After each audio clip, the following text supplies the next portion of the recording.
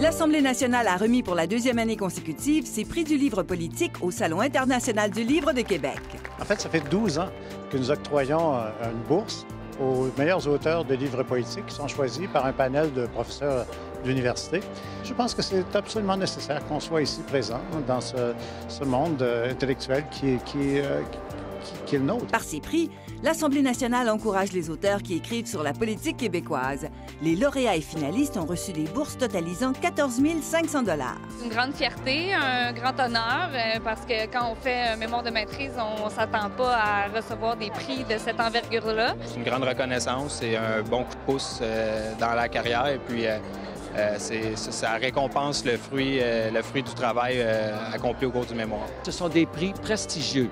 Alors, il faut, je dirais, les soutenir. Il faut que ça perdure dans le temps. Et sachez que tout récipiendaire, j'en suis persuadé, se trouve ce soir, comme moi, très honoré. Les auteurs et étudiants désirant soumettre leur candidature pour les prix du livre politique 2015 peuvent trouver toutes les informations sur le site Internet de l'Assemblée nationale.